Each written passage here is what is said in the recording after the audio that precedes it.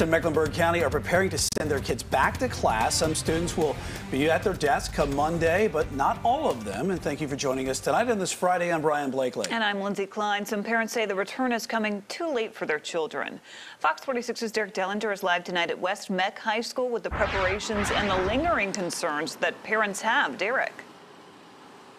Yeah, CMS says they are ready for the return, but they still say that there are some lingering things on a couple of fronts that they still need to address. Teachers worried about COVID and having access to the vaccine. There's also parents and students who are worried about exposure to the virus.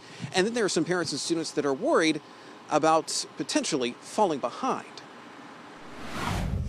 It's quiet now, but come Monday morning, there will be more action at this elementary school than anyone has seen in months. Cars will be lined up, students will be heading in, and CMS says they want it to happen. We have heard great excitement, by the way, from our families and our students uh, who are looking forward to their first days of in person instruction this school year. I am one of those families. But as students head back, there is apprehension on a couple of fronts. Teachers and staff nervous about getting COVID, but not yet being able to get the vaccine, and parents who feel like their child is falling behind. It's a, it's a tough situation for the kids. Tara and Greg Johnston on the middle and right are the parents of a now former CMS student. Alex is the brother of that student who all say this year and this semester led to a breaking point. She can't learn in an environment where she can't talk to her teachers after class. CMS did say that there are issues with grades right now in the district. They are lower than expected. That has led them to make changes. No score less than a 50 district wide and giving more time to complete assignments. Set up as an opportunity for students who may be negatively impacted by the pandemic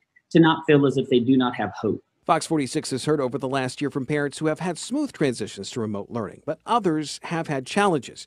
For the Johnstons, they believe CMS's lower grades are the sign of a bigger issue. We're here to serve the kids first and foremost, mm-hmm. and the kids have not been served. And they took their student out of CMS and into a private school. They say they could not wait any longer.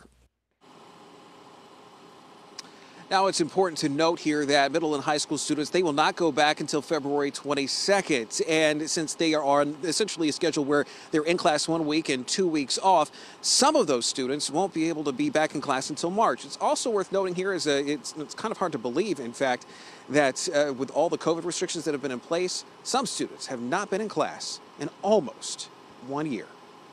Live at West Meck, Derek Dellinger, Fox 46.